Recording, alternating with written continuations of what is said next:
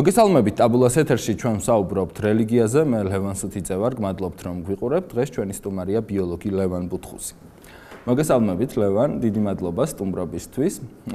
ჩვენ დღეს ვისაუბრებთ ათეიზმზე რელიგიაზე მეცნიერებასა და რელიგიაზე ბიოლოგიასა და რელიგიაზე და რამდენად შეგვიძლია ეს ორი ერთდროულად გვჯეროდეს ხო მაგრამ თავშივე მინდა კითხო შენ საკუთარ თავს განსაზღვრავ როგორც აგნოსტიკოს, ათეისტს თუ მორწმუნეს. როგორია შენი თვით იდენტიფიცირება და მე შემდეგ უნდა შევთანხმდეთ იმაზე, ვაღიარებ თუ არა ორთავე იმას, რომ ღმერთის არსებობის, ყოველ შემთხვევაში მიღმიერი ღმერთის არსებობის დამტკიცება ან უარყოფა, რაიმე მეცნიერული ან ლოგიკური ხერხით შეუძლებელია.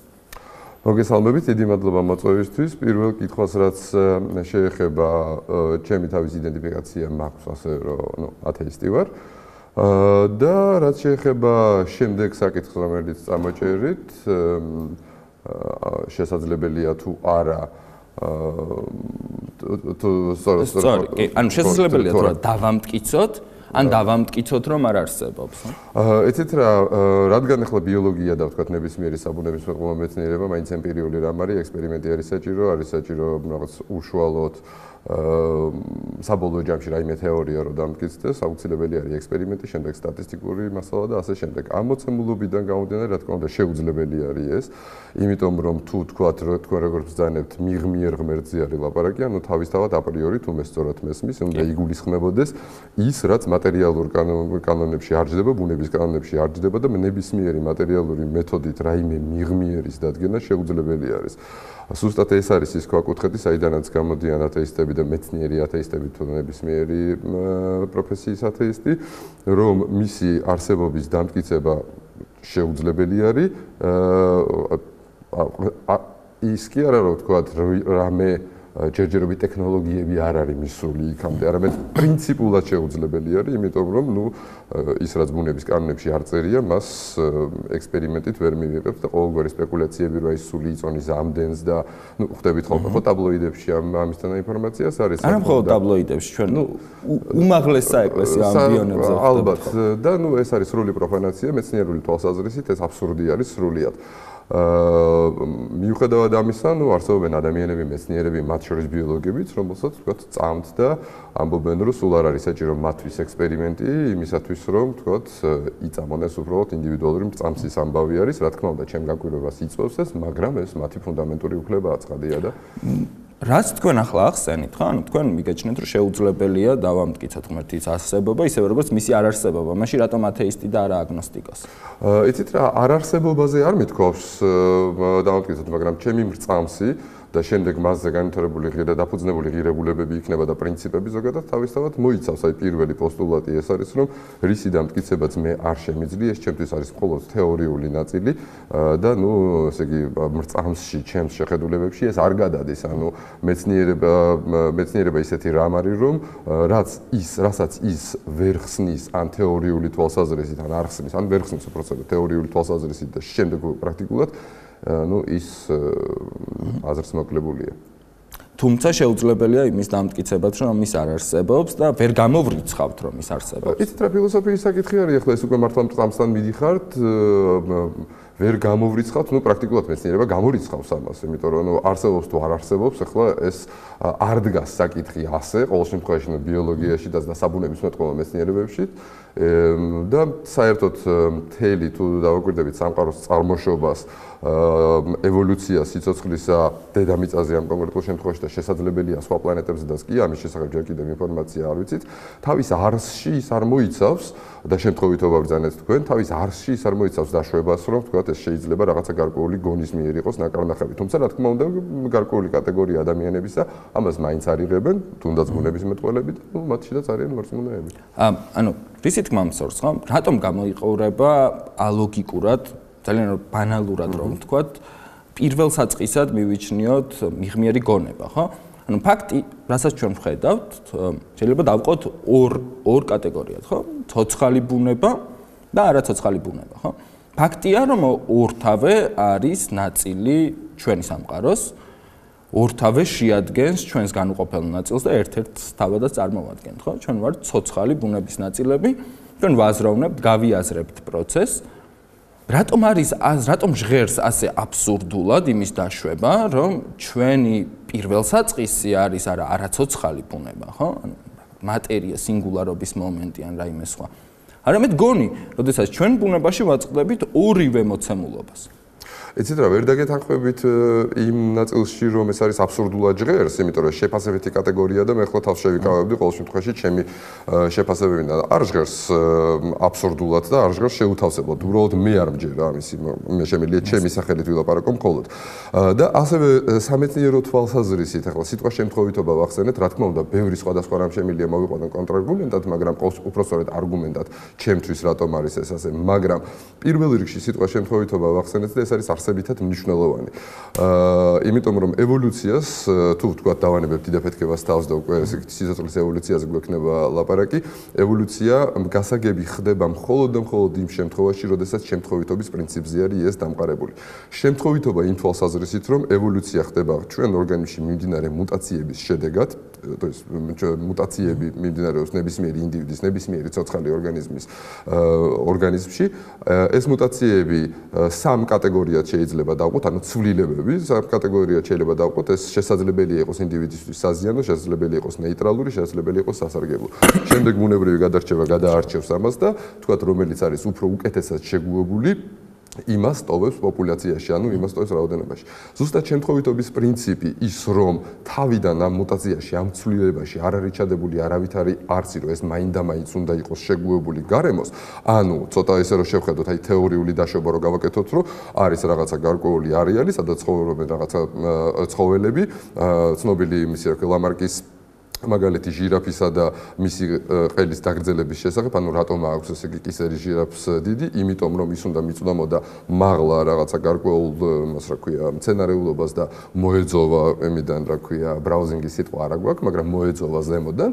აა გადარჩევა წავიდა და მისი მუტაციები წავიდა იმ გზით, რომ მიზან მიმართულად ის მისულიყო, ანუ ყველა მისი მუტაცია იყო მიმართული იმისკენ, რომ ის უკეთ შეგუებულიყო, შეგუებულიყო, შეგუებული ყოფილიყო გარემოსთან.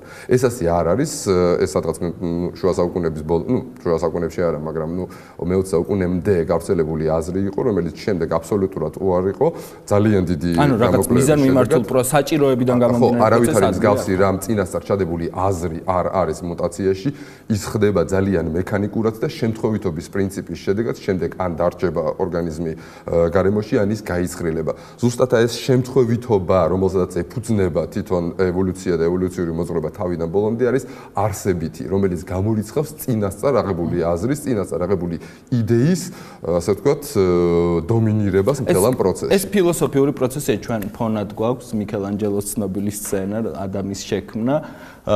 ჩვენ გადავწყვიტეთ, რომ დაგვეშვა, რომ ღმერთმა შექმნა ევოლუციური პროცესი და სწორედ ეს არის ახლა გამოსახული ჩვენს ფონზე. იცით, კაცრავად, საინტერესო არის ეს ეს მომენტი, იმიტომ რომ შესაძლებელია მამანმა თქვას, რომ კი ბატონო, ასე ვთქვათ, რელიგიური თვალსაზრისით იცი რა, ხო შეიძლება რომ ბიძგი მისცა ამან, ესე იგი ღმერთმა ბიძგი მისცა ამას და შემდეგ წავიდა პროცესი, არა? და ასე ვთქვათ, არჩევანის ნების თავისუფლება და არჩევანის თავისუფლება ისევე როგორც ადამიანს დაუტოვა, ასევე ნებისმიერ ცოცხალ ორგანიზმს, ანუ მან აირჩიოს ეს უკვე თუ ადამიანზე ვლაპარაკობთ, შესაძლებელია თქო და ფილოსოფიისა და პირადი კომფორტის საკითხია, მაგრამ ყველა დანარჩენ ცოცხალ ორგანიზმზე თუ ვლაპარაკობთ, ნების თავისუფლება და ასე ვთქვათ, გადაწყვეტილება ეს კარგი იქნება თუ ცუდი იქნება, რაღაცა გარკვეული ცვლილებები უკვე აბსურდი არის თავის. არა, მოდი ამ ყველაფერს შევხედოთ სხვაგვარად, ხო? ავიღოთ ბიბლია, სადაც მე გაცილებით კომპეტენტური ვარ ვიდრე ბიოლოგიაში, ხო? თუ ჩვენ ავიღებთ ბიბლიას, როგორც როგორც ამას გვთავაზობს ქრისტიანობა, ხო? შესაქმეს, დასაწყის ბიბლიის პირველ წიგნს და ბოლო წიგნს, ხო? ჩვენ ვნახავთ, რომ არსებითად ის ავტორი, რომელიც ამ ორ წიგნს გვაწვდის, საერთოდ არ გულისხმობს, საერთოდ არ პასუხობს კითხვებზე როგორ. დებით ჩვენ თუ ავიღებთ შესაქმეს, ის ვნახავთ, რომ ეს არის დაწერილი არქიტექტორის ენით. მათ შორის ერთგვარ დიალექტიკაში იმდროინდელ წარმართობასთან, ხო? დაწერილია რომ ღმერთმა სადღაც დაკიდა ნათობი, ხო? განა განა ის რომ ზე უნდა ვადიდოთ, ხო? თაყვანისცემის ნებისმიერი ფორმა რომ ყოფილიყო გამორიცხული, ეს ყველაფერი რომ შექმნა ღმერთმა ეს და თქვა რომ კარგია, დაკიდა იქ სადღაც ნათობები, არის დაწერილი არქიტექტორის ენით, იმისთვის რომ არავის გაუჩნდეს ცდუნება იმისა რომ მზეს ეთაყვანოს ან თუ არის ხო ან არამედ მის შემოქმედს.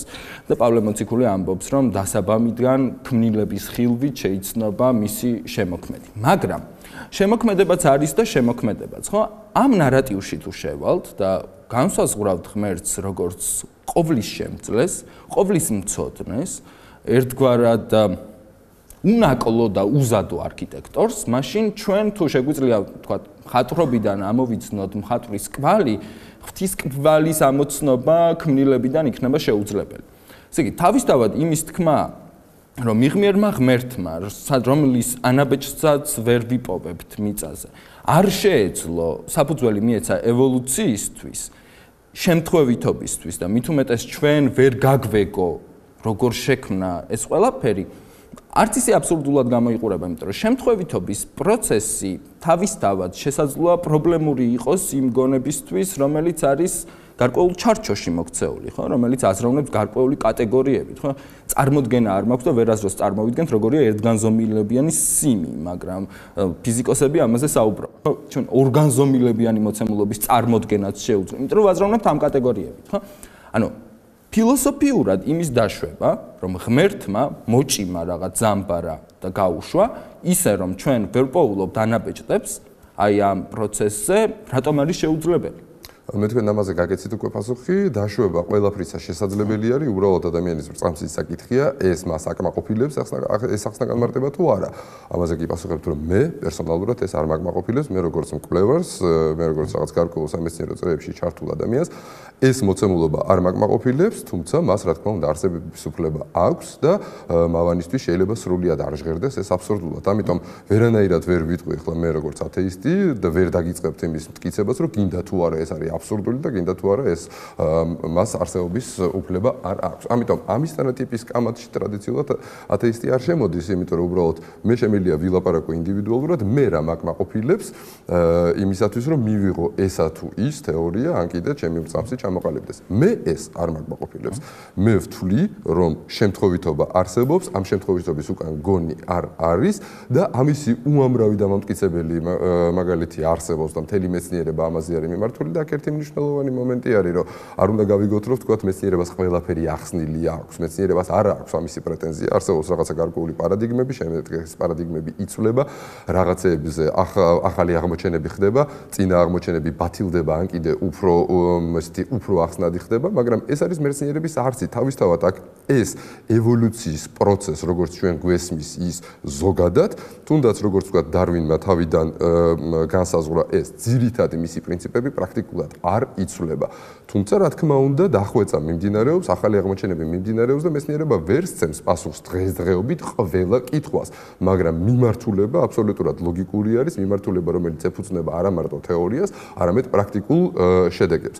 ამ მოცემულობიდან გამომდინარე, მე ვამბობ, რომ ეს ჩემთვის ასე ვთქვათ, არის არალოგიკური, არამეცნიერული და არა მისაღები დაშვება, თუმცა თავისთავად ის რომ დაშვება არსებობს, ახლა ეს მე დისკომფორტს არ მიქმნის. ხა, საინტერესო კითხვა არსებობს იმ ადამიანებისთვის, ვინც ვისაც სწამს რომ ევოლუცია ეს არის ის ზამბარა, რომელიც ღმერთმა მოჭიმა, მაშინ საიდან გაჩნდა? ნუ ბუნებრივია ასეთი ადამიანები ფიქრობენ, რომ ადამი და ევა ეს არის რაღაც მითოლოგიური ჩანახატი იმისთვის, რომ ძირითადი მორალური, მორალი ეთქვა ჩვენთვის. მოსე წინასწარმეტყველს, ხო? მიიჩნევა, რომ მოსემ ეს დაწერა უდაბნოში, როდესაც ის მას გამოჰყავდა ებრაელები ხალხში.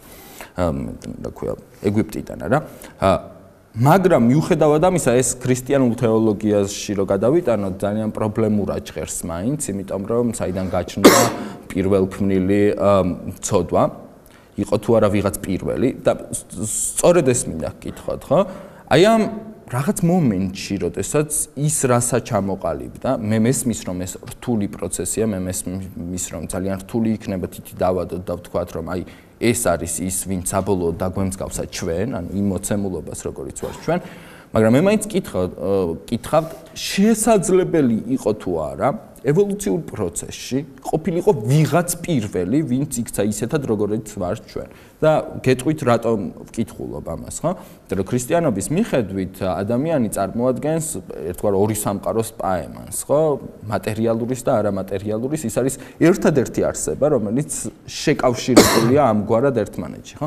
ანგელოსები და ცხოველები მატერიალურ ან სულიერ სამყაროს წარმოადგენენ. ადამიანი არის ორივე, ხო? ანუ რაღაც მომენტში აი ამ შეზელილ თიხას, ხო? თუ ბიოლოგიის შესაქმეს ენას გამოვიყენებთ, უნდა მისცემოდა სული.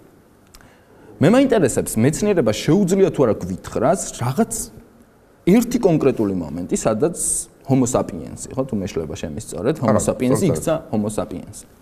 ერთი კონკრეტული მომენტი არ არის ევოლუცია არ უნდა წარმოვიდგინოთ ისე როგორც ესე იგი ერთ მოცემულობა ერთ უკაცრავად არ უნდა წარმოვიდგინოთ ევოლუცია ისეთად რომ რაღაცა გარკვეულ მყისიერ მომენტში ჩვენ შეგვიძლია დრო გავაჩეროთ და წარმოსახვით თუნდაც თქვათ რომ აი ეს ის მყისიერი მომენტია როდესაც ის ერთი წარმოიქმნა იმიტომ რომ ნებისმიერ ჯგუფში ნებისმიერი თქვათ პოპულაციიდან ახალი პოპულაციისა და მით უმეტეს ქვესახეობისა და შემდეგ სახეობის წარმოქმნა არ არის ერთ ინდივიდზე დამოკიდებული მუტაციები უნდა მსგავსი მუტაციები უნდა მოხდეს მინიმუმ რამდენიმე იმაში რა ქვია ინდივიდში ეს უფრო ასე თქვათ აზელილი და უფრო ქაოტური პროცესია ნუ ეხა მეტაფორულად და უხეშად ვამბობ ამ სიტყვას მაგრამ ერთი ინდივიდი, რომელსაც ჩვენ დავადებდით ხელს და ვიტყოდით, რომ აი ეს არის და აქედან წამოვიდა, თუნდაც თეორიულ რაკურსში, რა თქმა უნდა, იმის განამარხებულ ფორმას ახლა ჩვენ ვერ ვიპოვით, მაგრამ მაინც შეუძლებელია ამის თქმა, იმიტომ რომ ეს ეწინააღმდეგება თავისთავად ევოლუციის არს. ერთი ერთი ინდივიდმა რა თქმა უნდა შეიძლება პოპულაციაში ახალი გენები შემოიტანოს, მაგრამ ის მსგავსი გენები თუ არ არის რამდენიმეში ერთდროულად ან კიდე ნუ ერთდროულად არ ამყისიერ მომენტში არამედ რაღაცა გარკვეულ ბიოლოგიური დროის განმავლობაში შესაძლებელია მაღალი ალბათობით რომ ეს გენები გამოირიცხოს იგივე პოპულაციიდან. ამიტომ პასუხი კითხვაზე არსებობს თუ არა ესეთი რამ ყისიერი მომენტი და ერთი ინდივიდი არის უარყოფითი. აა შემდეგი თემა, რომელზეც მინდა გადავიდე და ჩვენ ბუნებრივია ვსაუბრობთ ადგილობრივ კონტექსტში, ამიტომ როდესაც მე რელიგიას ვახსენებ, გულისხმობ ქრისტიანობას და ძირითადად იმ ქრისტიანობას, რომელსაც იზიარებს საქართველოს ქართული საზოგადოების დიდი ნაწილი, ამიტომ გადაცემა არ გაგიკვირდეთ რელიგიაში, როცა ქრისტიანობას გულისხმობ და არ ვთქვათ ალაჰს ან რომელიმე სხვა და რა ქვია აფრიკაში გავრცელებული პრიმიტიულ რელიგიას, ხო, რომლის უარყოფა სხვათა შორის ადვილია, იმიტომ რომ მონოთეისტური რელიგიებთან მეცნიერების ურთიერთობა არის ძალიან რთულია რა, იმიტომ რომ როდესაც ის ამბობს შენი შენი საკვლევი ობიექტიდან გაყავს, ხო, თეორიაში, ძალიან რთულია ის აკრიტიკოს შემდეგ.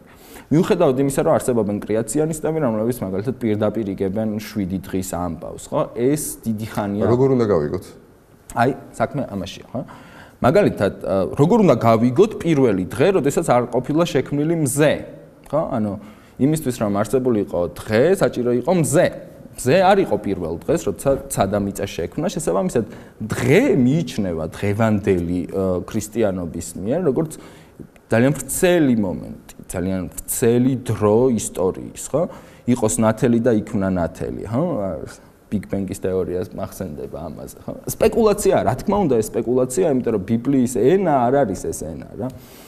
ბიბლიის ავტორს სავსები ცხადი იყო, რომ ჩვენთვის არ სურთა მოთხრობა იმის, როგორ მოხდა ეს ყველაფერი. რეალურად ეს ყველაფერი არის ძალიან ძალიან ძალიან ალეგორიულ ენაზე დაწერილი და შესაბამისად 7 დღე, რომელიც იქ წერია, ეს არის ის 7 შვიდ დღედ დაყოფილი ძალიან დიდი ეპოქა, ხო? ეს თქვენი ინტერპრეტაცია არის? არა, ეს არის თეორია, რომლის მიხედვითაც ესე გონიერი შემოქმედის თეორია, ხო? ანუ ქრისტიანობას რა ახასიათებდა ყოველთვის? ქრისტიანობა მოდიოდა თავისი გამოცხადებითი ჭეშმარიტებებით, როგორც ის თავად უწოდებდა ამას. ხო, ანუ რაღაცა გამოგვიცხადა ცოდნა ღმერთმა, ხო? მაგრამ იმისთვის რომ ჩვენ ეს გავიგოთ, ჩვენ უნდა ვიაზროვნოთ ქვევიდან ზევითაც, ხო? ანუ ვიაზროვნოთ, გამოვიყენოთ მაგალითად იმ დროისთვის არსებული აზრი, რაც მაშინ იყო ფილოსოფია, ხო? ქრისტიანობა არგებდა თეოლოგიას, არგებდა ფილოსოფიას და ჩვენ ვიღებდით რაღაც ნახევრად სამეცნიერო მოცემულობას სახელად რაღაც თეოლოგიური დოგმატები, რომელიც განმარტებული იყო ამენაზე, ხო? მაგრამ შემდეგ უკვე კრეაციონიზმი, რასაც ქვია, ხო, 7 დღის პირდაპირი გაგება, რომელიც რომელიც რეაქცია იყო, ხო, შემდეგ დარვინის თეორიაზე და ასე შემდეგ და ასე შემდეგ. გადაკეთდა და ამჯერად ფილოსოფიის ნაცვლად თეოლოგია მაიღო მეცნიერება და ის ჯერ კიდევ ფიქრობს, როგორ როგორ შეიტანოს საკუთარი თეოლოგიური დოგმები აი ამ ახალ მეცნიერულ საზრისში, ისე რომ არ დაზიანდეს არც ერთი და არც მეორე, იმიტომ რომ ეს პრინციპი ვინც მოიფიქრა სულ თავიდან, ხო? რა თქმა უნდა, პირველ ქრისტიანი მამები იყვნენ, ხო? ავიღოთ აზრი და ვთქვათ, რომ გონება, რომელიც ღმერთმა მოგვცა, არის ჩვენი. აქედან დაიბადა ძალიან ცნობილი ფორმულა, რაც ქრისტემდე კარგი ყოფილა, არის ჩვენი. იმიტომ რომ რაც ქრისტემდე კარგი ყოფილა, ის ღმერთი შემოქმნილია, შენი გონებაც ღმერთი შექმნილია, შესაბამისად ჩვენ სავსეები შეგვიძლია ეს ორი შევაერთოთ ერთმანეთთან, ხო? აქედან გამომდინარე, როგორც არისტოტელე აიღეს და მოარგეს გამოცხადების ჭეშმარიტებას, ქრისტიანობა დღეს ცდილობს აიღოს მეცნიერება და იქ ისე შეიყვანოს ეს თავისი თეოლოგიური სწავლება, რომ არც ერთი დააზიანოს და არც მეორე. მაგრამ ყველას ეს არ გამოსდის, ბუნებრივია, აქედან ჩნდება რაღაცა. ვის გამოუვიდა? არავის არ გამოსდის ჯერჯერობით. იმიტომ რომ როგორც ამბობენ, ახალ არისტოტელეს ჯერ კიდევ არ გამოუჩნდა ახალი თომა, ხო, რომელიც მასში ისე უსადოდ შეიყვანდა ამ დოგმატებს, როგორც ეს თომამ გააკეთა. რა თქმა უნდა ეს სპეკულაცია. რა თქმა უნდა ეს ნებისმიერ შემთხვევაში იქნება სპეკულაცია. მაგრამ მე არ ვფიქრობ რომ ის ანუ ვიღაცები განდევნილი იქნებიან ამ სივრციდან. ხო, მაგალითად ის ვინც ამტკიცებს, რომ სამყარო 7000 წლის არის, მაგალითად ის ვინც ამტკიცებს, რომ მართლა ეს მომავალში ლაპარაკობთ, რომ განდევნილები იქნებიან. კი, რა თქმა უნდა, ამ დისკურსიდან, იმიტომ რომ შეუძლებელია თუ ანუ როდესაც დადგება ეს მომენტი, თქვენ ბრძანებთ, რომელიც მაშინ. კი. ანუ წარმოუდგენელი იქნება ადამიანებს წარმოუდგენელი ამტკიცო, რომ 7000 წლის არის სამყარო. ეს არის სრული აბსოლუტური. რა ვიცი, ხო, ბევრი ჩემი მეგობარი ამას ამტკიცებს. ხო, აი ეს საქართველოს საპატრიარქოს მეინსტრიმული აზრია, სხვათა შორის არსებობს რაღაც კრეაციონიზმის საბჭო. იცით რა, ერთი მომენტი არის თქვენ და მე უდიდეს პატრიოტიზმისა და თქვენი რელიგიისა და უდიდეს პატრიოტიზმის მიუხედავად, ესე დისტანციურად მაგალითად მახსენდება, ცოტა ისეთი პირდაპირი კორელაცია არ არის, მაგრამ დაახლოებით მაინც ლოგიკა არის, თუ არ ვწდები, სულ ცოტა ხნის რამდენიმე წლის წინ იყო ვატიკანის მიერ აღიარება იმისი, რომ ბრუნო მაინდა მაინც დასაწვავი კი იყო, ეხლა ცოტა უტრირებ რა თქმა უნდა, მაგრამ ნუ აი ის რომ დედამიწა მრგვალია, ნუ კი ბატონო, ვაღიარებთ, ბოდიშს არ ვიხდით, მაგრამ ძალიან თუ თუ სწორად მოხდა, ძალიან ბუნდოვანი ის იყო, გამისწორეთ თუ შეგიძლიათ დამისახელოთ სამეცნიერო ნაშრომი, რომელიც ეკუთვნის ჯორდანო ბრუნოს? არა, აქ ლაპარაკი არ არის სამეცნიერო ნაშრომზე, აქ არის ლაპარაკი ვთქვათ მის პოზიციაზე, როგორც ეს ჩვენთან მოვიდა და ვიცით ისტორია, რომ ის დაწვეს, ხო? მე სხვა რამის თქმა მინდა. ანუ ამ შემთხვევაში მე ცოტა მიუხედავად იმისა, რომ ათეისტი ვარ და ამაზე გითხარით, მე ცოტა არ დისკომფორტულ მდგომარეობაში ვარ ხოლმე, როდესაც ვთქვათ, იქ მართლმადიდებლური რელიგია რაღაცას აკეთებს, სამაგი და ექსტრემ ექსტრემალურად მიუღებელი არის, სამაგიერო სხვა კონფესიები ნაკლებად ექსტრემალურად მიუღებლები არის. ეს დროის საკითხია, რა თქმა უნდა, კათოლიკე ეკლესიას აქვს უამრავი ცოდვა ისტორიაში. ცოდვებზე ახლა იმდენად არ არ გეუბნებით, რამდენადაც შეხედულებებზე და წამსებს, ხო? თუმცა, თუმცა ერთი რამ მინდა თქვა უკაცრავად გაწყვეტინოთ, მაგრამ ჩემთვის ასე ვთქვათ, თავისთავად როგორც ბიოლოგისათვის ნებისმიერი კონფესია, ნებისმიერი მიმართულება, ნუ ერთ იმაში გადის ის რა ქვია ლოგიკაში ჩემთვის ეს ყველაფერი ერთი არის თუ ევოლუციური კუთხით და ევოლუციონისტის კუთხით შევხედოთ მაგრამ სოციოპოლიტიკური და ან კიდე დღევანდელი თვალსაზრისით თუ შევხედავთ პროცესს საერთოდ რა ხდება ჩვენს გარშემო მაშინ თანაბარზომიერნი ჩემთვის სხვადასხვა რელიგიები და კონფესიები არ არიან იმ შედეგების მიხედვით რასაც დღეს ჩვენ ვაკვირდებით ხო? იმიტომ რომ საბოლოო ჯამში დასავლური ცივილიზაცია რომლის მიერ მოტანილი ვთქვათ გარკვეული ღირებულებები და პრინციპები რომლითაც ჩვენ დღეს ვცხოვრობთ და კეთილდღეობა თუნდაც იმ სახის კეთილდღეობა რასაც ჩვენ ვიზიარებთ დასავლეთის ასე ვთქვათ მონაპოვართან ერთად ნამდვილად ქრისტიანულ ქრისტიანულ რელიგიაში წარმოიშვა მე ვამბობ თლიანად ქრისტიანულ რელიგიაში და არამედ რომ რომელიმე კონკრეტულში ხო? რა თქმა უნდა. როდესაც ვთქვათ მუსლიმანური სამყარო არ იძლევა ამის საშუალებას და დღეს ვხედავთ რომ ეს ეს ასე ვთქვათ სამწუხაროდ გაცილებით უფრო დღეს 21 საუკუნეში გაცილებით უფრო აგრესიულ ხასიათს ატარებს და საერთოდ მეცნიერების იქნება თუ გონის თუ იმ ღირებულებების განვითარება ნუ არ მომხდარა რასაც ჩვენ დღეს გვაქვს. ამ თვალსაზრისით, ჩემთვის, რა თქმა უნდა, თანაბარზომიერი არ არის მოტანილი შედეგის მიხედვით. თუმცა რელიგიური დოქტრინის თვალსაზრისით, ახლა ჩემთვის როგორც ევოლუციონისტისთვის ეს ერთი და იგივე. ერთნაირად მიუღებელი. გასაგებია, იმიტომ რომ შენ ჭირდება ემპირია, ხო? ქრისტე ვერ გაძლევს, ხო, ემპირიას. ერთადერთი ადამიანი, რომელსაც ეს ემპირიული რწმუნება მიეცა, იყო თომა მოციქული. მას თითი ჩაადებინეს ფერჩი, ხო? თომას არ სწამდა, რომ ის აღდგა. და ფერტში ჩაუყო, ანუ ერთადერთი ადამიანი, რომელიც დაარწმუნა ქრისტიანს, ის ნამდვილად აღდგა, იყო თომა მოციქული, ხო? იმიტომ რომ არ სწამდა მას, ვერ იღებდა და ეს ემპირიული ძალიან ძალიან უცნაურია ქრისტიანულ თეოლოგიაში ზოგადად პრობლემაა, ხო? რატომ არ შეუძლია ღმერთს გამოგვეცხადოს ქუხილით და ანგელოზებით, ანგელოზებთან ერთად და თქვას რომ მე ვარსებობ, ხო? საქმე იმაშია რომ არსებობენ ადამიანები, რომლებიც ამას ჰალუცინაციად ჩათვლიან, ხო? და ამიტომ ღმერთი ამბობს რომ რადგან ისინი ჰალუცინაციად ჩათვლიან ამიტომ ანუ საბოლოოდ საბოლოოდ ანუ რაზე ლაპარაკობთ რა ცოტა და და ესე იგი დავიბენი. ანუ სად არის კითხვა სად არის ძალიან რთულია თქვა რომ არსებობს მტკიცებულება იმისა რომ ღმერთი არსებობს იმიტომ რომ ნებისმიერ შემთხვევაში როგორი გამოცხადებაც არ უნდა მივიღოთ მისი ჩვენ ვერასდროს ვერ შევამოწმებთ ემპირიულად მის არსებობას ან არარსებობას და? ხა ანუ საქმეც იმაშია რომ თუ ქრისტე ჩამოვიდოდა ჯვრიდან მაშინ შენს თავისუფალ ნებას აღარ დარჩებოდა არჩევანი ერწმუნა თუ არ ერწმუნა და აქ მივდივართ იმაზე საერთოდ რა არის რწმენა ხო? რწმენა არ არის ვიცი. რწმენა არ არის შევამოწმე. რწმენა არ არის დავრწმუნდი. რელიგიური რწმენაზე ვიყავ და არა მწამს რა თქმა უნდა. რწმენა არის უბრალოდ ვაღიარე და მივიღე ხო? ეს ძალიან უცნაური პროცესია მაგრამ თქვენ ახსენეთ ახლა შედეგები. აჰა შეგვიძლია ვთქვათ, რომ ბიოლოგიას ან მეცნიერებას, რომელიც ძალიან ცნობილი კატეგორიზების მიხედვით ერთი პასუხობს რელიგია პასუხობს კითხვაზე რატომ, ხოლო მეცნიერება კითხვაზე როგორ, ხო? შეუძლია ბიოლოგიას გვიპასუხოს კითხვაზე რატომ, მოგწეს მორალი, შეგვიძლია თუ არა ბიოლოგიური მეცნიერებიდან ჩვენ გამოვიტანოთ რაიმე მორალი, რომელიც გახდება ჩვენი წესრიგის საფუძველი, ხო? იმიტომ რომ თქვენ ახსენეთ, რომ დასავლური ცივილიზაცია აგებულია აი ამ ქრისტიანულ ნარატივზე, ანუ თქვენ ფიქრობთ რომ რელიგია საჭიროა იმისთვის რომ რაღაცა მორალური წესრიგი შედგეს თუ ფიქრობთ რომ ამის შემცვლელი სავსებით შესაძლებელია იყოს ბიოლოგია არათანაც პარზომიერი კვეკითხები არის, ამიტომ ვეცდები ესეთი ანალიზური, არა სინთეზური, თქვენ სინთეზური სურათი შემომთავაზოთ, მე ვეცდები ანალიზური მხარით კი პასუხობთ, თუ სწორად გავიგე. აა პასუხი პირველ კითხვაზე არის არა, მეცნიერების საქმე არ არის მორალის შექმნა, მეცნიერების საქმე არ არის პასუხი კითხვაზე რა რატომ?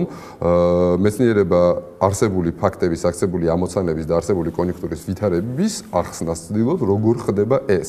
და რა თქმა უნდა, მეცნიერება არ შეიძლება იყოს და ბიოლოგია არ შეიძლება იყოს რაიმე მორალი მორალის განსაზღვრელი თავისთავად. იმიტომ რომ მას ეს არ აინტერესებს უბრალოდ და ეს არ არის მისი შესწავლის საგანი.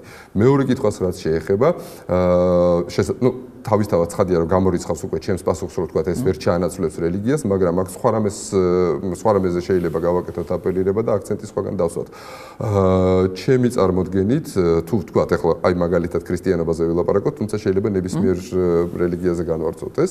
აა მორალი როგორც ასეთი იმ მორალით, რასაც ჩვენ ცხოვრობთ დღეს ამ ცივილიზებულ სამყაროში, ამ ნაწილში ყოველ შემთხვევაში სამყაროს ამ ნაწილში არავითარი კავშირი არ აქვს მაგალითად ქრისტიანობასთან. კავშირი როგორ არა აქვს, რა თქმა უნდა, ქრისტიან ქრისტიანული წარმოდგენები ასე ვთქვათ დამთხოვული არის, მაგრამ მანამდეც კი სანამ ჩვენ ქრისტიანობა და თუნდაც ვთქვათ ძველი ახმა გვეწოდინებოდა თუნდაც იცნება შემოვიდოდა ჩვენ ცხოვრებაში, შეგვიძლია ვთქვათ მაღალი ალბათობით, რომ მრავალი ათასი საუკუნის წინ ადამიანს ადამიანმა ზუსტად იცოდა, რომ კაცი არ უნდა მოეკლა თავისი ასე ვთქვათ თანასახეობა ყოველ შემთხვევაში, რომ მოპარვა არ შეიძლებოდა და ასე შემდეგ. ნუ დანარჩენი ვთქვათ ექსპერიმენტები უფრო ესეთი რა ქვია რიტუალური ხა ხასიათის არის რა თქმა უნდა, მაგრამ ფუნდამენტური რამ რაზედაც დაეფუძნა შემდეგ მორალი და ის ცოტ-ცოტა იცვლებოდა სამყაროს იმ ნაწილში, რამაც ჩვენ ცხოვრობთ. ეხლა ძალიან დარწმუნებული ვარ, რომ ხეოფსის დროს და კიდევ უფრო ადრე ეგვიპტელებმა ზუსტად იცოდნენ, რომ ადამიანის მოკლა არ არის კარგი და ზუსტად იცოდნენ, რომ თქვათ იქ მოპარვა არ არის კარგი. ეს მორალი აუცილებლად არ არსებობს, რომ არ ყოფილიყო იქ.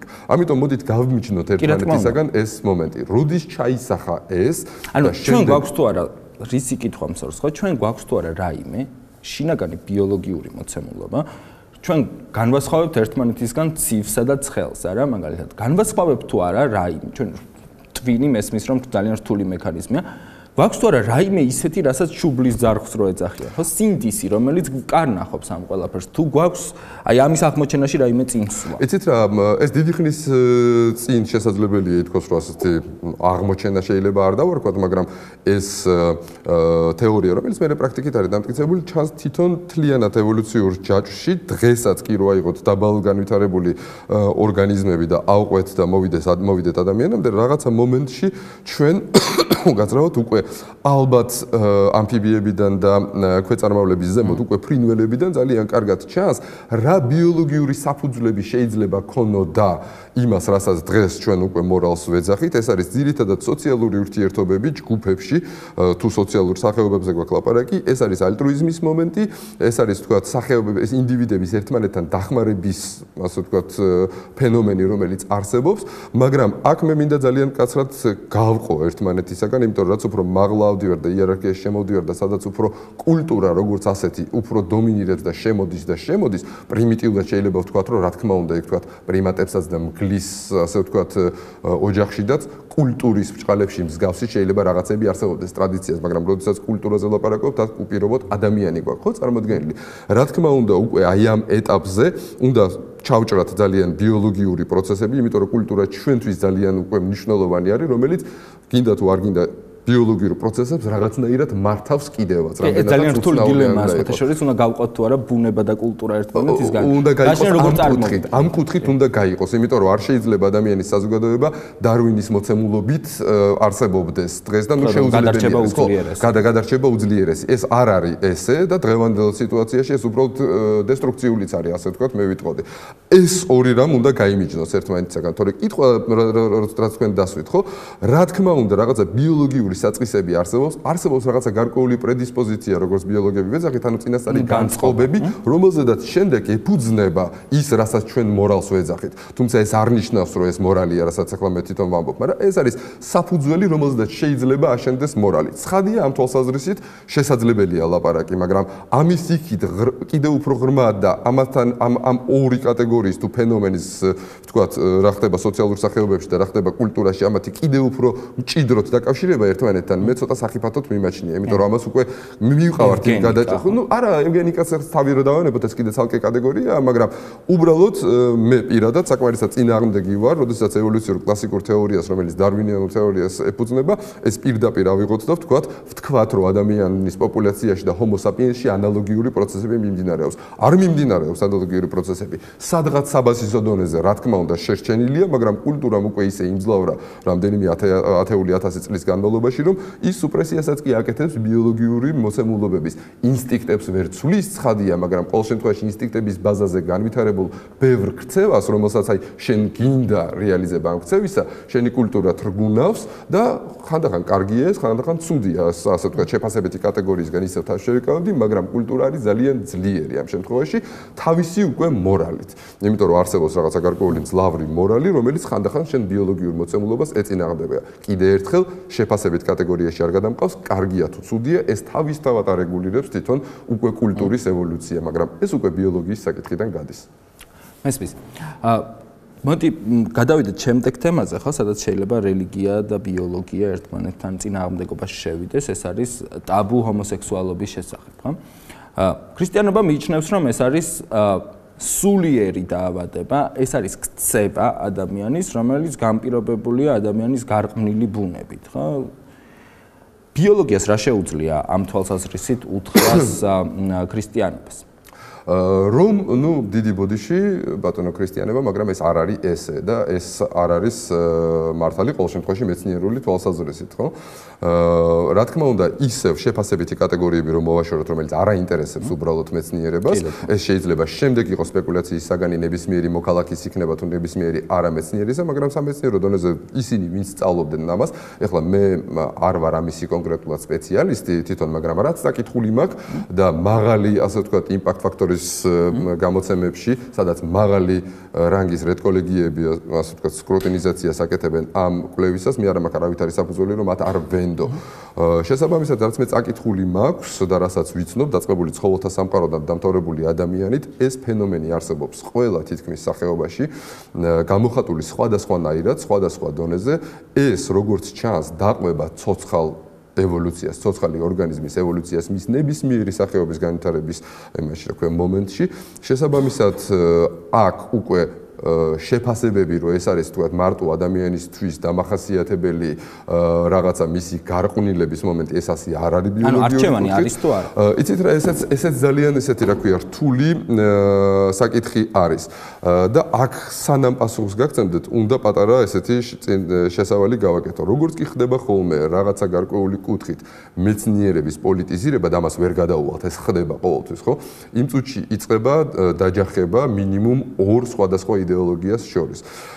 მეცნიერის ვალი არ არის და მისი ფუნქცია არ არის რომელიმე პოლიტიკური გემოვნების, ასე ვთქვათ, ჩადება მის კვლევაში. ეხლა რატო ვამბობ ამას? იმიტომ რომ პასუხს რომელსაც მე გეტყვით, რასაც თუ ვთქვათ შენ მეცნიერი ხარ, აბსოლუტურად ყველანაირი პოლიტიკური გემოვნებისგან თავისუფალი ხარ კვლევაში, თუ თუმცა ეხლა რა თქმა უნდა ადამიანი ხარ და არჩევნებზე მიდიხარ და ვიღაცას აძლევ, ანუ შენ ხმას, შენ რა თქმა უნდა, მაგრამ ამ საკითხთან, ესე იგი თუ არა ხარ წინასწარ მიკერძოებული და თუ ვთქვათ შენ კვლევებზე შენი პოლიტიკური გემოვნება არ ახდენს გავლენას, ვიღებთ ესეთ სურათს, რომ აქ ამ შემთხვევაში არჩევანი პრინციპში არ არის.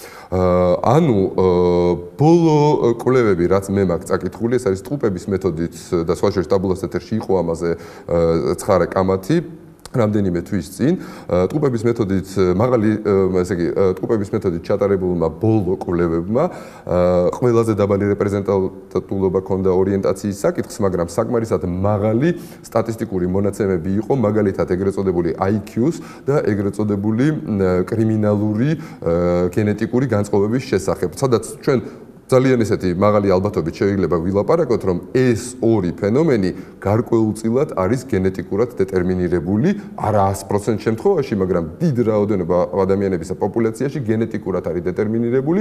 რა თქმა უნდა, კულტურა რაღაც დონეზე თრგუნავს, მაგრამ რაც უფრო მეტია გენების ექსპრესია, მით უფრო რთულია მისი დათრგუნა. რაც შეეხება ორიენტაციის საკითხს, აქ ვერ დავდებ თავს, რომ სტატისტიკური მონაცემები საკმარისი არის და ძალიან რეპრეზენტატიულია. იმიტომ რომ კულტურის გამო არა, არა, უბრალოდ არა, უბრალოდ რა ტყუპების მეთოდი რო ვახსენე, როგორ არიცით, რომ საქმე რო ყველაზე უფრო კარგი ინდიკატორი ნახო ეს გენეტიკურად არის თუ არა დეტერმინირებული არის ტყუპებზე და განსაკუთრებით იმ ტყუპებზე, რომლებიც ადრეულ ასაკში დააშორეს ერთმანეთს და სხვადასხვა კულტურებში იზრდებოდნენ. ანუ თუ ერთი არის ჰეტეროსექსუალი, მეორეც უნდა იყოს ჰეტეროსექსუალი, თუ დავუშვებთ, რომ ეს არის გენეტიკით განპირობებული. თუ ერთი არის ბისექსუალი, მეორეც უნდა იყოს ბისექსუალი. თუ დავუშვებთ იგივეს, თუ ერთი არის ჰომოსექსუალი, მეორეც უნდა იყოს, ეს იყო დაშვება. რაღაცა გარკვეული სტატისტიკა მოგროვდა ამასთან დაკავშირებით დაკავშირებით და არის წინასწარი მონაცემები, რომ პრინციპში გენეტიკას გარკვეულ დონემდე, გარკვეულ დონემდე აქვს აქ, ესა რა ქვია, როლი. რამდენად სერიოზული როლი აქვს ეს უკვე მეორე საკითხია, მაგრამ შეგვიძლია ასე ვთქვათ სპეკულაცია, თუმცა თუმცა თავს ვერ დავდებთ, იმიტომ რომ მაღალი სტატისტიკური მონაცემი არ აგვაქვს და არ აგვაქვს ის რაოდენობა ადამიანებისა, ტყუპებისა, რომელიც ერთმანეთს დააშორეს, რომელიც გვეთყოდა, რომ იცი რა, ეს სტატისტიკურად სარწმუნო რაოდენობა არის. მაგრამ წინასწარი, ასე ვთქვათ, მონაცემები ამტკიცებს პრინციპში, რომ ალბათ გარკვეულწილად გენეტიკურ პრედისპოზიციას, ანუ გენეტიკურ განწყობას აქვს. აქ არსებითი მნიშვნელობა. ამას თუ ავიღებთ, პასუხი თქვენ კითხვაზე არის, რომ მაინც და მაინც იქ არჩევანის უფლება არ აქვს ინდივიდს, ხო? უფლება კი არა, უბრალოდ არჩევანია. რა თქმა უნდა, ახლა ვიღაცას შესაძლებელია მომდეს თქვათ, არა კლასიკურად მიღებული ტერმინოლოგიის მიხედვით არატრადიციული სექსუალური, ასე ვთქვათ, პრაქტიკის განხორციელება, რაც ძალიან ისეთი წინადადება თქვი, მაგრამ მაინც ეს მისი არჩევანია, ცხადია, მაგრამ ეს მის ორიენტაციას არ ცვლის. მან შეიძლება გამოაცხადოს რომ სიტყვაზე ის არის გეი ან ის არის ჰეტერო ან არა აქვს მნიშვნელობა მაგრამ ეს ბიოლოგისტვის ამ მოცემულობას და მის ორიენტაციას არ ცვლის. ამიტომ დღევანდელი მონაცემები და სიფრთხილით მაინც, მაგრამ შემიძლია ვთქვა, რომ პრინციპში მაღალი ალბათობით გარკვეულწილად ეს არის გენეტიკა წილადაც, იმიტომ რომ მარტო გენეტიკა აქ არ მუშაობს, ეს არსებითად მნიშვნელოვანია. გარკვეულწილად არის, ასე ვთქვათ, ხელშემწყობი და წინასწარ განსაზღვრელი კი არა, ყოველ შემთხვევაში რაღაცა საფუძველი მომწ განმაპირობებელი.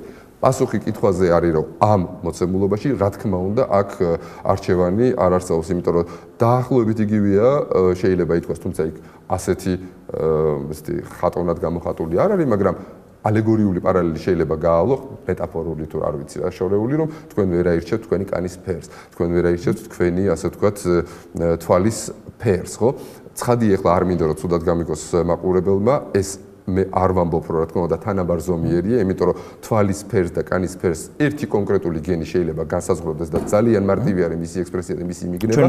ორიენტაციასთან დაკავშირებით, ესე იგი, ესეთი ერთი გენი არ არსებობს, ეს შესაძლებელი იყოს გენთა კომპლექსი, რომელიც ქმნის პირობას, რომ თუ გარემოც დაემთხვა, აი შემდეგ შეიძლება ვილაპარაკოთ, ასე ვთქვათ, საფუძვლებზე. ეს უფრო რთულია, მაგრამ ესეთი უბრალოდ პრინციპული მაგალითის პარალელის სათქმელად მოვიყვანე ის მაგალითი და არ მინდა რომ მაყურებელმა გაიგოს რომ ეს თანაბარზომიერი რამ არის. მაგრამ აქ უკვე ესე იგი არჩევანი აღარ არსებობს თუ ამ კუთხით მიუდგებით შესაბამისად, ну, აღარც უნდა არსებობდეს ასე ვთქვათ, პრესი. ხო, ანუ ქრისტიანობა გრძალავს აქტს და არა ორიენტაციას, ანუ იმას, რასაც ადამიანი ირჩევს და არა იმას, რაც ადამიანი არის, მაგრამ დავანებოთ ამის ამას თავი, ხო?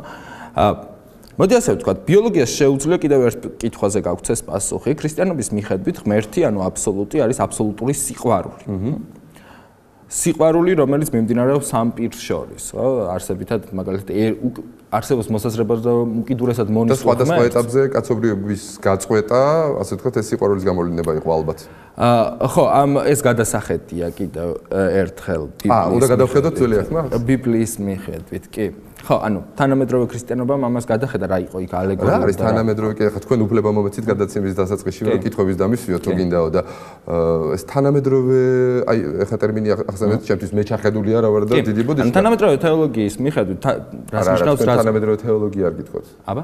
მე მგონი თანამედროვე არა, თანამედროვე ქრისტიანული აზრის მიხედვით. ხო და აი რა არის თანამედროვე ქრისტიანული? აი, თანამედროვე ქრისტიანებმა და ვინ ქმნის ამას? ვინ არიან თანამედროვე? თანამედროვე ქრისტიანები, მოცემულობას ვახსენე, ხო? ქართველი ერი, რა შეიძლება იყოს ქართველი ერი, ხო? ნუ განზოგადებული ტერმინია. ის მიიჩნევა, რომ ღმერთი ღმერთი, ისეთი ღმერთი, როგორიც არის ბიბლიაში მოცემული, შეუძლებელია იყოს კავშირში იმ ღმერთთან, რომელიც არის ქრისტე, ხო?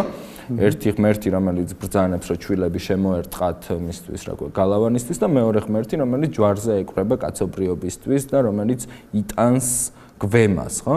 ღმერ ეს ვიღაც კი არ არის რომელიც ღმერთმა გამოგზავნა ანუ ქრისტიანობის განკაცებული ღმერთია რომელიც თავად განკაცებული თავად ღმერთია დიახ. ძალიან რთულია ამათ შორის კავშირის პოვნა ამიტომ ქრისტიანები არჩევენ ის ქრისტიანები რომლებიც პრომეთთან არიან, მეტად არიან აზრთან ახლოს, ხო? არჩევენ რომ ძველი აღთქმა გაიგონ ალეგორიულად და არა პირდაპირ რომ ვიღაცა ღმერთმა ბრძანა შემოეხეთქა კედელს ვიღაც ხო? მაგრამ ამას თავი დავანებო. როგორ უნდა გაგვეგო ეს აი ხო ადამიანებს ან დღეს? რა? აი თქვენ აუთხრეს პირდაპირ არ უნდა გავიგოთ რომ შემოახეთქე ჩვილი კედელს. რა ინტერპრეტაციით უნდა გავიგოს ხანაირად? წარმოუდგენელია ამის სხვანაირი ინტერპრეტაციით. ხო, ანუ, კარგით. წარმოუდგენელი. მე ძალიან გულწრფელად ვაღიარებ იმას, რომ ძალიან ხშირად მისმევენ ამ კითხვას, რომ რატო ვარ მე საერთოდ საერთოდ ქრისტიანი, მე მაქვს ხოლმე ესეთი არადამაკმაყოფილებელი პასუხი, როგორიც გასცა ეტიან ჟილსონმა, ეს ცნობილი ფრანგი ფილოსოფოსი იყო, იმიტომ რომ მე დავიბადე ქრისტიანულ კულტურაში და სხვა არჩევანი არ მაქვს, ხო? ანუ მე ჭირდება ქრისტე ადამიანი ღმერთკაცი, რომელიც მეტყვის რომ ამ სამყაროში არ ვარ მარტო და რომ ამ სამყაროს ყავს პატრონი და ბოლოს და ბოლოს ყველაფერი ყველაფერს გაარჩევს ის მსაჯული, რომელიც არის მიუმხრობელი. მაგრამ ეს არ ნიშნავს იმას, რომ აი ეს მაინტერესებს, აი თუ შეიძლება რომ დავბრუნდეთ იმ საკითხზე, როდესაც თქვენ ბრძანებდით, რომ ეს ძველი აღთქმის ღმერთი და შემდეგ უკვე როგორ შევაკავშიროთ ერთმანეთთან, ხო? ძალიან ძალიან რთული რამ არის ამის თქმა, ძალიან ყველა ყველა პასუხი, რომელსაც ჩემგან მოისმენდით, ახლა იქნებოდა სპეკულაცია. მე არ ვიცი რატომ იყო ძველი აღთქმის ღმერთი ასეთი სასტიკი. ახალი აღთქმის ეპოქაში ბოლო 2000 წლის მანძილზე თქვენ მეტყვით რომ ასე ვთქვათ კეთილია ის, ანუ ამდენი ვაება სამყაროში, ამდენი ბავშვი, ამდენი სიმსივნე, ამდენი ამდენი უბედურება ჩვენს გარშემო, ანუ ეს ჩვენ ხო კონტექსტში უნდა დავინახოთ ეს ყველაფერი. ღმერთი, რომელიც არის სიყვარული და რომელიც ქმნის ადამიანს, ხო? ბიოლოგიურ მოცემულობას. და ის აძლევს მას არჩევანს. კონდეს თუ არა სიმსივნე? კონდეს თუ არა სიმსივნე, ეს ხომ ძალიან ისეთი რაღაც არის, ხო? ანუ არჩევანს მე თუ მეკითხებ ეს ორი ორ ნაწილად უნდა გავყვათ ხო? იღებს თუ არა ღმერთი პასუხისმგებლობას იმაზე რასაც ადამიანები ერთმანეთს უშვებიან და მეორე რატომ იბადებიან სიმსივნით ბავშვები ხო? ჩემ მე არ მაქვს ამ კითხვაზე პასუხი, ამიტომ ამბობენ ხოლმე ქრისტიანები, რომ მე წამს არ ამხოლოდ ის რომ ღმერთი არსებობს, არამედ მის წამს რომ ის სიყვარული. ხო, აი, ჩემთვის ეს შეიძლება ძალიან პრიმიტივი ვარ, შეიძლება ძალიან ძალიან პირდაპირ და სწორხაზოვნად მინდა ხოლმე რაღაცების გაგება და ალეგორიებთან დაკავშირებით შეიძლება პრობლემა მაქვს, მაგრამ ჩემთვის ეს გაუგებარი რა არის. ქრისტიანებს ჯერათ. მე მესმის რასაც ამბობთ. თქვენ ხომ ხვდებით რომ მე დიდწილად აგნოსტიკოსი ვარ, ვიდრე ვიდრე მორწმუნე. იცით რა, აი ეს ინტერპრეტაციების საკითხი ჩემთვის არის ძალიან მტკივნეული ერთ რა თქმა უნდა პარალელურ თემაზე ამ თემიდან არ გავალ, მაგრამ ზუსტად ეს მომენტი არის, როდესაც ლაპარაკობდით, ჩემი მაგალითად საყვარელი მეგობარი იჯდა თქვენთან ეთერში, გიორგი ლობჟანიძე, დიდი სიამოვნებით უყურებდი, მართლა ძალიან მიყვარს ეს ადამიანი, ძალიან კარგი მეგობარი არის ჩემი. თქვენ იხილავდით ისლამის საკითხებს და რამდენად ყურანს ქონდა, თქვათ, ესა რა ქვია, ბაზისად შეგვეძლო აგვეღო ყურანი და დღეს არსებული მოვლენა, მოვლენები, რაც მაგალითად იქ ახლობამსალჩე სირიაში განსაკუთრებით მიდის ხო, აი ისთან დაკავშირებით. გიორგი ამბობდა, რომ იცი რა, ყოველთვის კონტექსტი უნდა გაითვალისწინო და ვითარება და კონიუნქტურა ის, როდესაც თქვათ დაიწერა, ხო?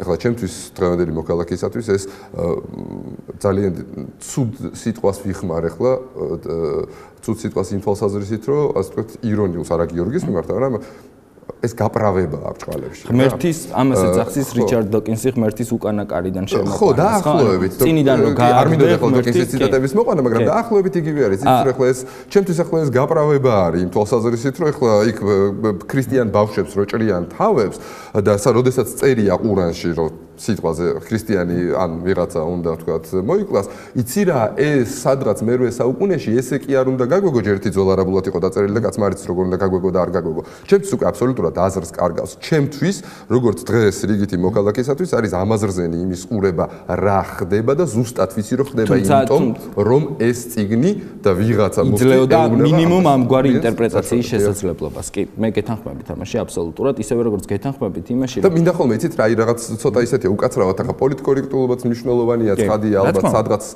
ესეც არის ბევრი რამ არის მნიშვნელოვანი, მაგრამ უმეტესწილად ახლა იმიტომ რომ მე თვითონ თავისთავად ახლა პოლიტიკაში ჩართული ადამიანი არა ვარ და არ მაინტერესებს პოლიტიკა როგორც ესეთი, ალბათ მოცემულობა არის ესეთი რომ მიყვარს ყველაფერს თავის სახელს, როდესაც ვარქმევთ ხოლმე. და არ ნუ უნდა დავარქვათ ეს სახელი სამწუხაროდ, იმიტომ რომ სანამ შენ არ იტყვი დაავადებაზე, რომ ეს არის დაავადება, მას ვერ განგურნა, ხო?